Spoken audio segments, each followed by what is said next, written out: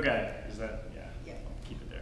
Okay, so our team, we were basically trying to put together an intelligent pantry. Um, so I know when I go shopping, I pick up a six pack. I have one place in the fridge where I put that six pack. Um, so it, uh, I, I have a water filter that I get water from, and sometimes my girlfriend will come and she'll take water and then not fill it up. Like to get notified about that, have a little discussion there. Um, Would you go? yeah, I'll learn eventually. Um, and then maybe some of the Amazon pantry things that you have, you could just fire off a AWS service to then order any, like, say you're running low on flour, it could just detect that and then it would order you flour to your home and via some sort of subscription service. So that's kind of the idea that we had going into it.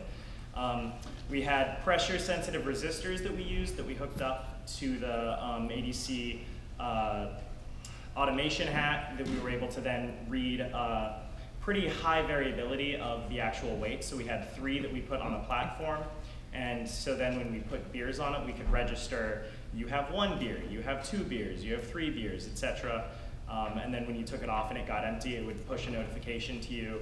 Um, we also had a water level sensor that would allow you to, once the tank started to get low, it would tell you you could handle it however you feel is most appropriate. Um, and then we also had a stretch sensor, which is for, say, say you bring home a bunch of bananas and you hook it to your rope, as all people do, and then it'll, and then it'll tell you exactly how many bananas you have left. And oh no, I'm running out of bananas. Thank God, I, I now know how to handle this. Uh, and so we got all three of those pieces running on, uh, we had two different Raspberry Pis, the one with the stretch sensor and the water cooler were both, they both had IoTivity servers running on on them, each representing a different device. And they then, if a client subscribed to observe them, then anytime there was a great enough change, or say a binary change for the water temperature, it would then send the notification to the client, um, as well as for the um, for the, the beard detector, whatever. Um, and so we had some issues. We, the demo app for the 15 minute uh, Get IoTivity running uh, doesn't support observables. And that was kind of right at the heart of what we were trying to do. And so we set that aside and decided to write our own observable client if we had time.